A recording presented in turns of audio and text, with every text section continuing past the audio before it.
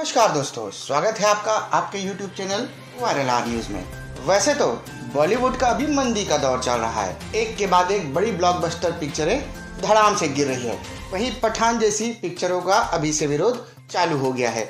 एक दृश्यम ही था जिसने थोड़ा सा बॉलीवुड को संभाल के रखा था। वहीं दूसरी तरफ़ हॉलीवुड रिकॉर्ड के झंडे गाड़ रहा है। हालिया रिलीज़ हुई हॉलीवुड की film Avatar, the way of water. इन दिनों सुर्खियाँ बटोरा है। तेरह साल के लंबे इंतज़ार के बाद अवतार की अगली कड़ी, Avatar the way of water 16 दिसंबर को रिलीज़ हुई है। तभी से इसे शानदार रिव्यू मिल रहे हैं। फ़िल्म ने भारतीय सिनेमा घरों में धमाकेदार शुरुआत तो की है। साथ ही इसने अपने शुरुआती ही वीकेंड में लगभग 40 करोड़ रुपए की कमाई कर ली है। साथ ही ये फ़िल्म भारत में अब तक की दूसरी सबसे बड़ी हॉलीवुड ओपनिंग मूवी बन गई है। दूसरे दिन, जेम्स कैमरून की फ़िल्म ने अपने कलेक्शन में ज़बरदस्त उछाल लगाई है और कमाई लगभग 100 करोड़ के ऊपर पहुँच गई है। आपको जानकारी के लिए बता दें कि अवतार द वे ऑफ़ वाटर देश भर दुनिया के सिनेमा घरों में अपने शानदार प्रदर्शन के साथ बॉक्स ऑफ़िस पर रिकॉर्ड तोड़ने के लिए तैयार हो चुकी है।